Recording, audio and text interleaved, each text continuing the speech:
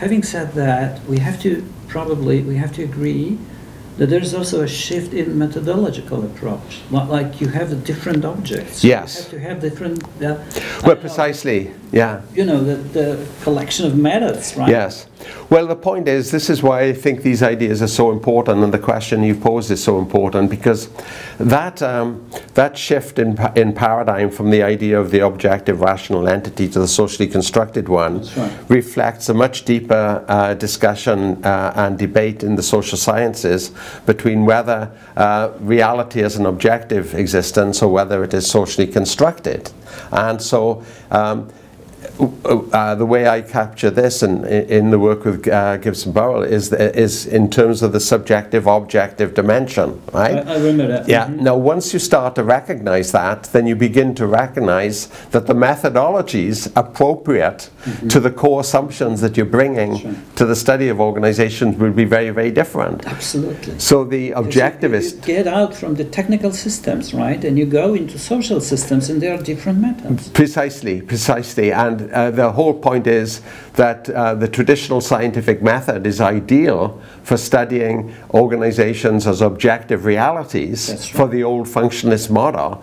But that isn't the way that you can really understand organizations as socially constructed enterprises that are all based upon the interpretation of people. So that the methodologies of organizations, uh, organizational theory, have uh, in the subjectivist domain, in the interpretive domain, have much more in contact with uh, the humanities and the way we seek to understand life and social life right. as opposed Yeah. to the, uh, um, the scientific model. Now, uh, these debates have emerged uh, with increasing force uh, since the 1970s, but there's still this cont- uh, contention, and people seem uh, often to be locked into the boxes. They don't understand.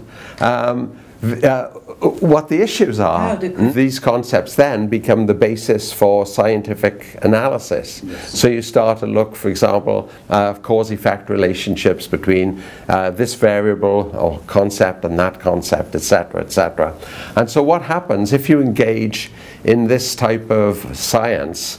Uh, you get preoccupied with the measurement of concepts.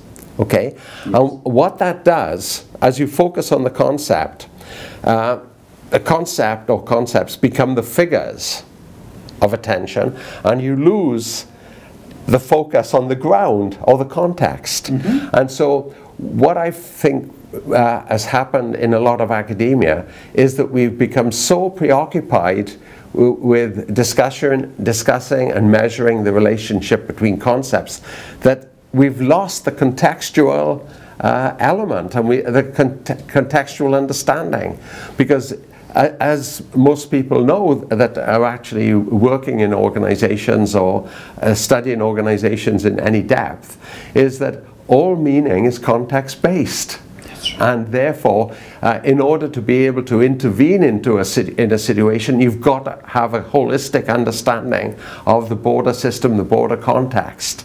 And unfortunately what's happening in academia is that all that is lost because you can't measure it, you can't study it, you can't uh, make it scientific. So um, uh, uh, there's something not right here.